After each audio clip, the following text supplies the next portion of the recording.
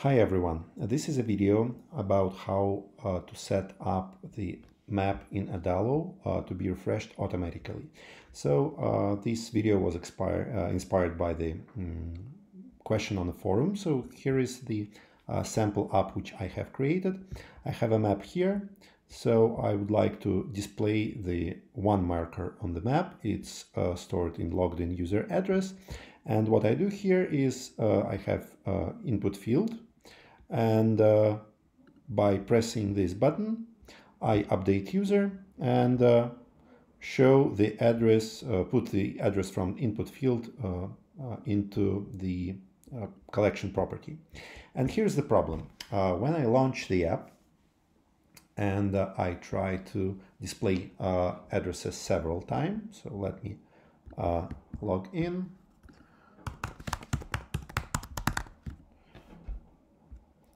So I go to these maps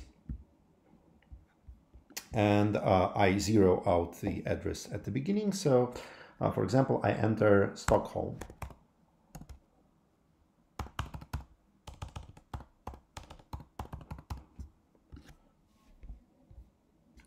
Okay, and uh, well, everything is displayed correctly, but when I try to enter the different address, you see that this property in the collection it's updated, but the map is not updated.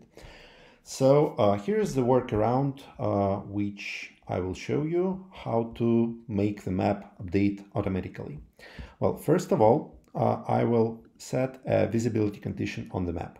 So this map will be conditionally visible and uh, I will make it visible only if logged in user address is not equal for, for example, three dashes. Uh, and then the next step, what I'm going to do is before I update the user with the real address, I will add another action, update logged in user. So, and I will move this action to the top. And I'm going to put three dashes into the address.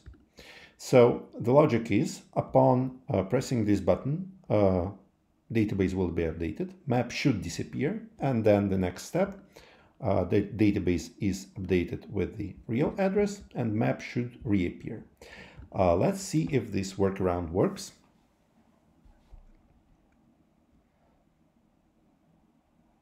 So again, already have an account.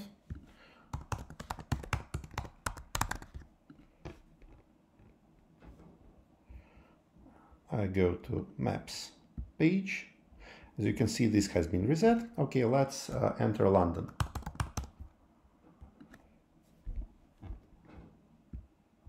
Okay, as you can see, uh, here is London. And if I go to Paris,